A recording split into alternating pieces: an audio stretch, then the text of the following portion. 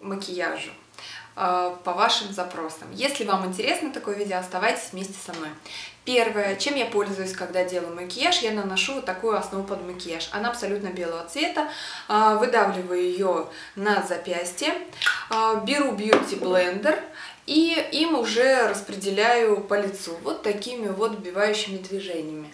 У меня бьюти блендер смочен то есть ну, довольно-таки хорошо смоченный и отжат, потому что Beauty Blender это губка, которая может впитать для, в себя очень много продукта. Для того, чтобы уменьшить впитываемость продукта в губку, ее смачиваем. После, того, после этого я наношу уже тональную основу. Сейчас с вами я хочу попробовать э, вот такую вот новую тональную основу флюид с SPF 12, которая скоро появится в каталоге. Это такая будет тональная основа пипеточкой, которая капать. У меня здесь Light Ivory цвет, это слоновая кость. Давайте попробуем, как он подойдет, мне не подойдет. А, то есть из пробника очень сложно что-то выдать. Ну, в общем-то, вот буду им пользоваться. Он вот такой вот свежий аромат, прозрачный, по покрываемости не сильно. У него большая покрываемость. Поэтому, если вы любите более плотные тональные основы, может быть, он не сильно вам подойдет. Ну, не знаю, может быть, мне так показалось. Все, конечно, нужно пробовать, поэтому, если вы сомневаетесь в чем-то всегда, заказывайте пробничек чего или покупайте какую-то маленькую миниатюрку, и вы сможете уже протестировать продукт и понять лично для себя, подходит вам это или нет. Но цвет немножко, я бы сказала, для меня вот в данный период времени хотелось бы, может быть, даже побелее. Может быть, даже попробовать нужно э, слоновую кость, потому что этот немножко, я бы сказала, что как-то желтит, э, что ли, или, не знаю, на моем лице так смотрится. Ну, то есть тональную основу распределяю, кроме области глаз, также все бьюти блендером. И вот так вот такими выбивающими движениями.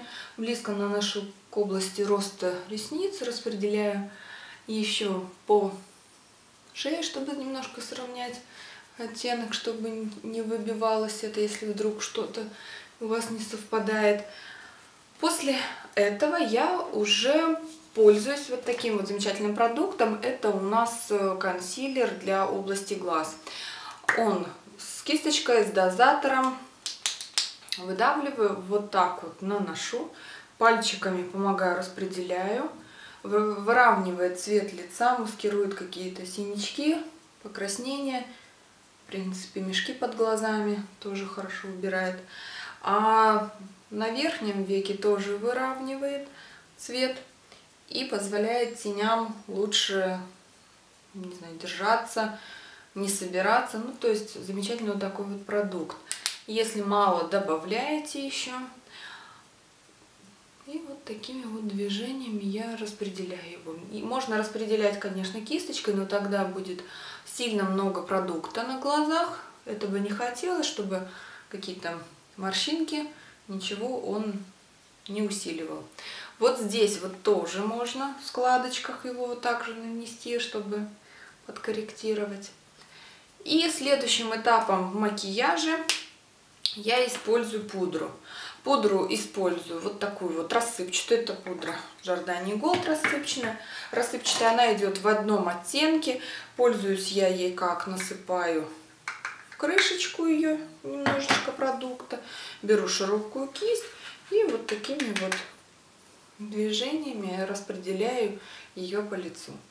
С утра, когда я делаю макияж, мне очень удобно в использовании рассыпчатая пудра. В течение дня я уже пользуюсь компактной пудрой, которая мне помогает продлить стойкость макияжа. Ну и вот так вот распределяю пудру. Следующим этапом в моем макияже это идут уже бровки. А, хотя брови у меня как бы в принципе густые, но я немножечко их подкрашиваю. Для этого у меня есть несколько продуктов, которыми я обычно пользуюсь. Я обычно пользуюсь вот такими вот э, тенями для бровей. Выглядят они вот так вот, два цвета, светлый и темный. Я использую темный и воск. И использую еще вот такой вот моделирующий гель для бровей. Но сейчас я хочу попробовать новый продукт. Новый продукт это вот такой вот карандаш для бровей. Новиночка. Я заказала его в темном оттенке. С одной стороны карандаш, с другой стороны щеточка. И давайте вместе с вами попробуем и посмотрим, что же у меня получится. То есть карандаш вот такой вот. Подкрашиваю там, где хочется. Но у него не сильно большой пигмент, я бы сказала. Ну, если, конечно, надавливать, дает больше оттенка.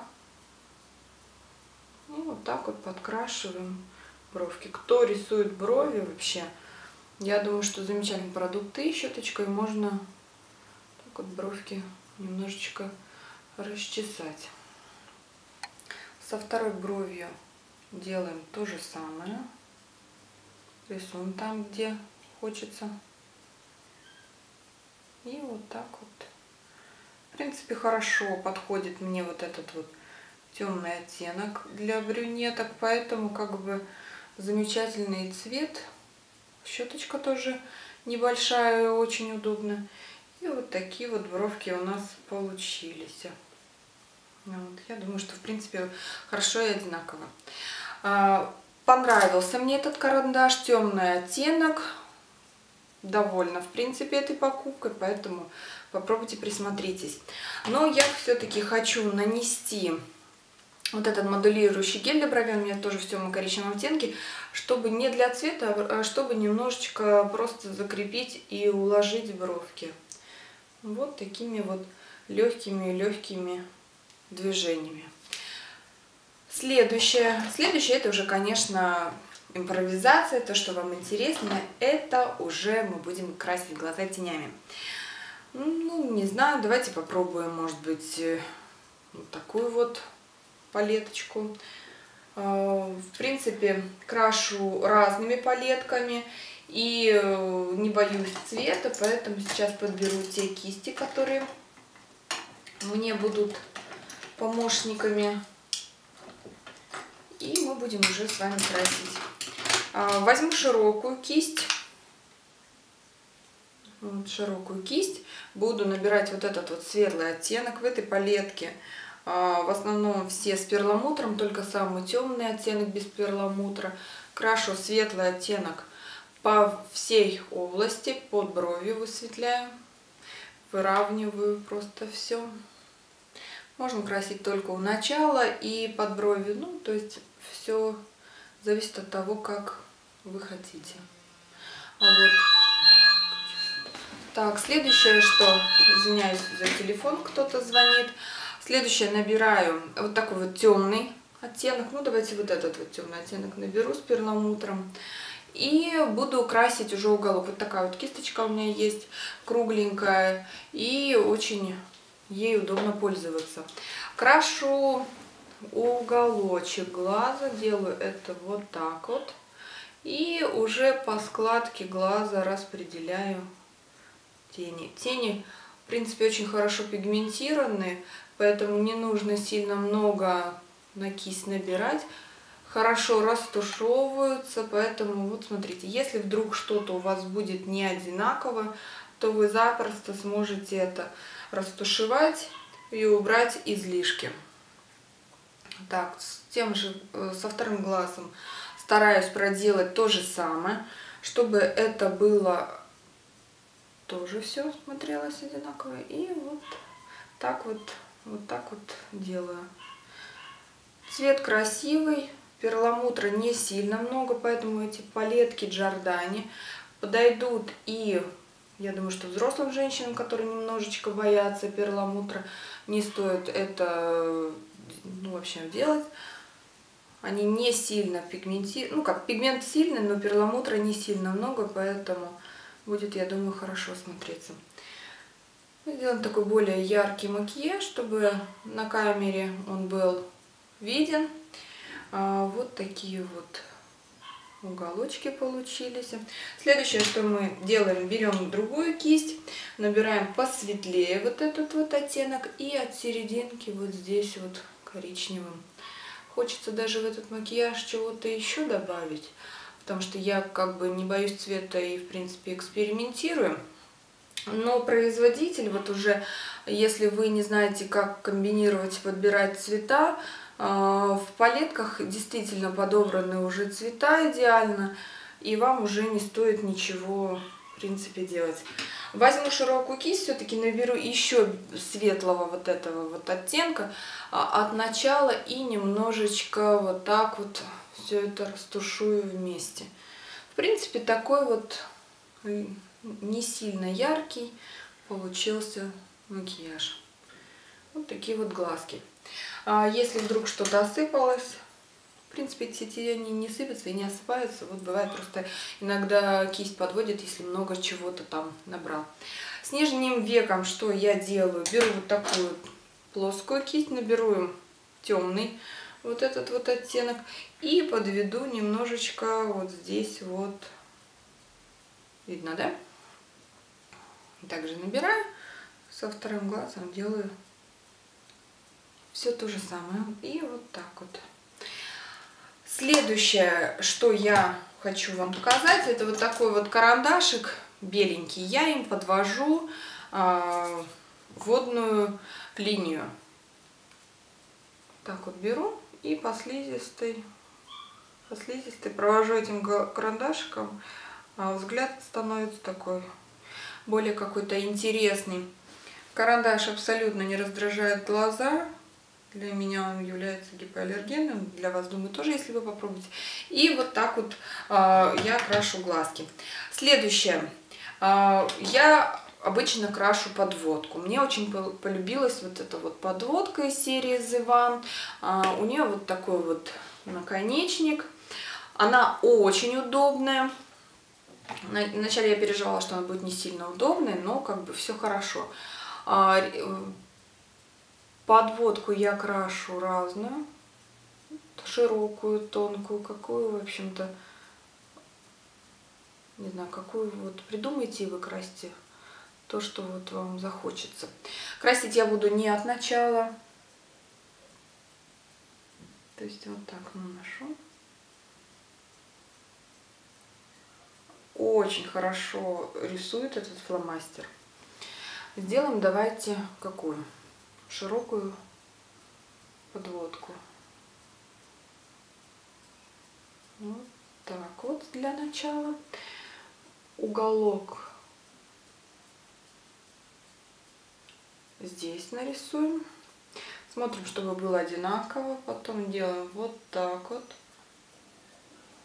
Как я провела, видно, да? И закрашиваем вот этот вот светлые промежутки. И получилась вот такая вот широкая подводка. Со вторым глазом делаю то же самое.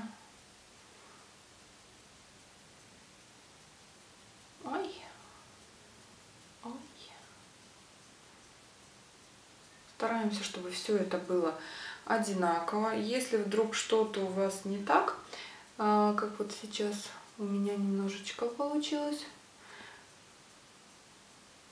Не переживаем. А, берем палочку и просто и легко все корректируем. Как это мы делаем?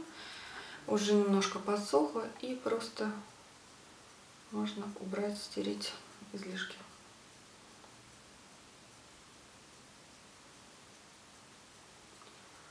Так, и дорисовать, если вдруг чего-то не хватило. Ну и вот такие вот широкие подводки у меня получились. Фломастер очень замечательно рисует. Вот он у меня уже второй месяц и прям рисует, не подводит хорошо. После этого я наношу тушь. Мне нравится сейчас вот эта вот тушь. Она вот такой вот такая вот кисточка, синий оттенок. А, особо синий она не является, но при каком-то отливе синева на ресницах в принципе есть. А, ресницы получаются такими объемными, длинненькими. В тот же момент Вы можете их сделать так, как вам захочется. Много объема, мало объема. Вот. Я люблю, в принципе, когда ресницы объемные, пушистые. А внизу я тоже ресницы крашу. Так, немножечко, слегка. Вот. И после того, как я накрасила ресницы, я уже наношу бронзер и румяна. А сегодня я буду пользоваться вот такими двумя.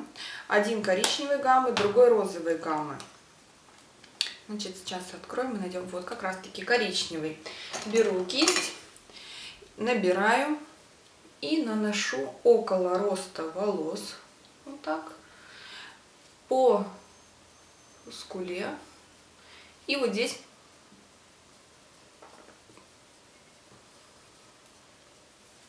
небольшой такой контуринг получается лица. С этой стороны делаю то же самое.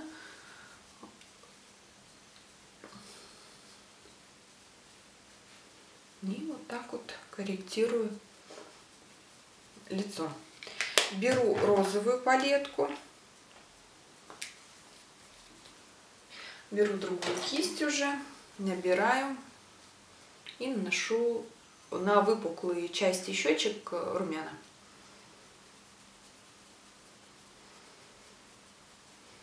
От этих румян пятен не получается.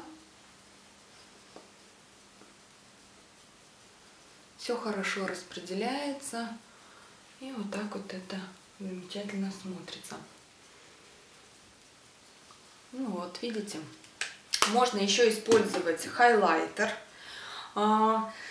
Ну, не знаю, не знаю. Давайте нанесем. У меня есть здесь хайлайтер вот в такой вот палетке. Ну, вот в такой палетке у меня есть хайлайтер. И я его наношу на вот сюда на выпуклую часть щечек выше румян. А потом, значит, по носику. И вот сюда на губки. Не знаю, насколько вам видно, не видно хайлайтер. Ну, то есть, если хочется чего-то такого, то можно вот еще воспользоваться и хайлайтером. Следующее, что я буду красить губы.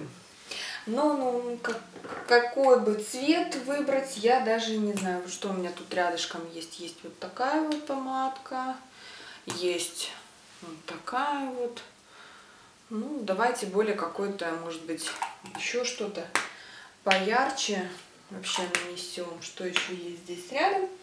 Э, такие вот две помадки. Ну, давайте вот эту вообще яркую. Воспользуюсь вот таким вот карандашом выкручивающимся красным.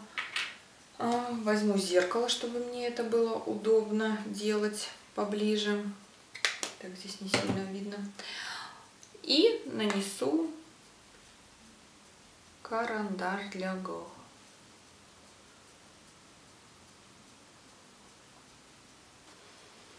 То есть немножечко вот так открашиваем.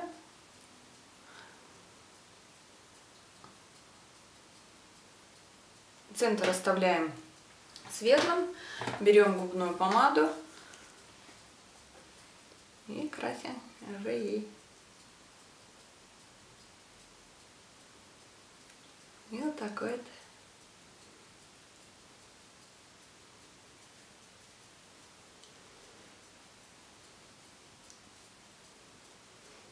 яркий у нас получился оттенок губной помады. И вот, вот это вот весь мой макияж, который я делаю.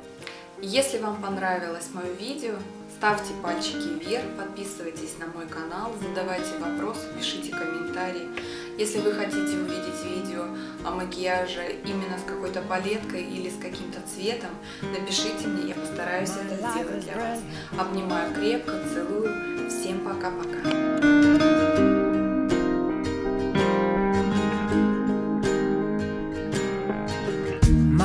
Is brilliant